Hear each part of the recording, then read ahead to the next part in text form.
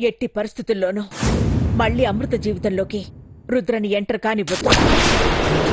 గతంలో అమృత భర్త అయినా సరే ఆ గతంలోనే కలిసిపోవాలి.